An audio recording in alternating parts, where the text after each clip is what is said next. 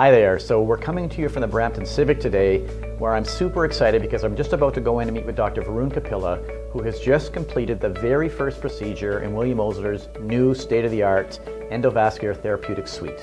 Now, this suite was made available from a major donation by the Orlando Corporation, and it really will provide us with state-of-the-art care for our vascular population. Dr. Kapila is going to tell us all about that. I'm really excited, so why don't you come with me. We're going to go meet with him right now.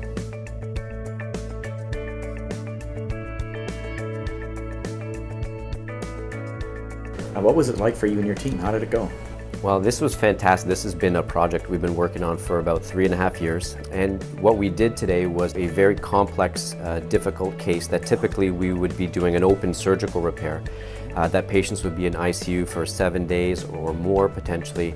And now we did everything through about a one centimeter incision in each groin and the patient was awake the entire time. So we had an incredible nursing team, incredible uh, interventional team and, uh, and support team. So uh, it was as good as I could expect yeah, Well, we have a lot to be proud of with this team here today and the technology is amazing, but the impact this is going to have for our community is really, really what matters. And so give me a, a sense of who are the patients that you're looking after? Who are the kinds of people that you're going to be treating with this, uh, with this new technology? So we see the entire spectrum of vascular disease here. So we see basically from head to toe, arteries and veins. Uh, for example, uh, we'll be treating acute stroke here. So patients who've had uh, a stroke and have gone to the brain, which can be quite devastating, we're going to be able to put carotid stents uh, into them because of the expertise we have in-house.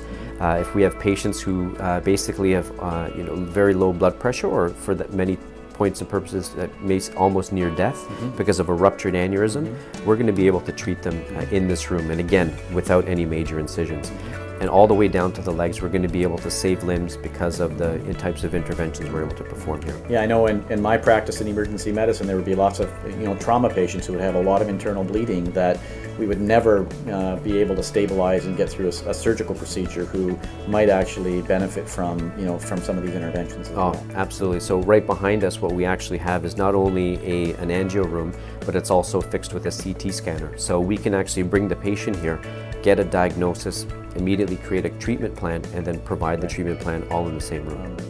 So it was the Orlando Corporation that gave us the donation that allowed us to do this. So if you could say one thing to them, what would be the important thing we would want to say to the Orlando Corporation?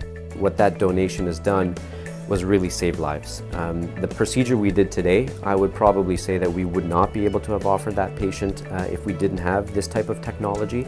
So he's going to live uh, a whole lot of more years because of that.